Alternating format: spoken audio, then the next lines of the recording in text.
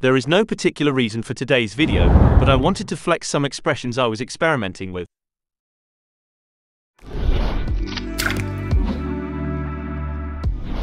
Open your clip in the Fusion page and bring a time stretcher node. Double-click in the source time to reset it, right-click on it and select expression. If you write down time in the box, it will play the clip normally.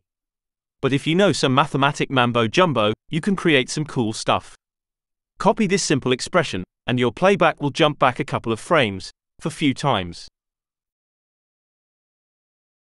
You can change the numbers if you want to adjust the range of the jump and the frequency.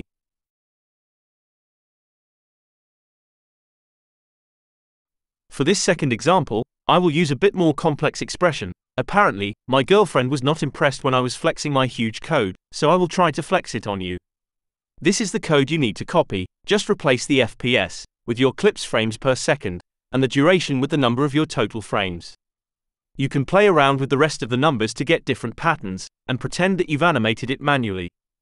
Another way to use this is to add a merge node, connect your clip to the merge, and use the time stretcher as a foreground to the merge. Bring a rectangle mask in empty space and adjust the size.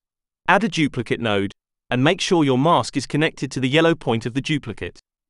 Increase the copies slider, go to the jitter tab and adjust the center value and the size slider to your liking. Connect the duplicate node to the merge as a mask and you'll end up with a big disappointment in your face. If you liked this clip, subscribe to this channel.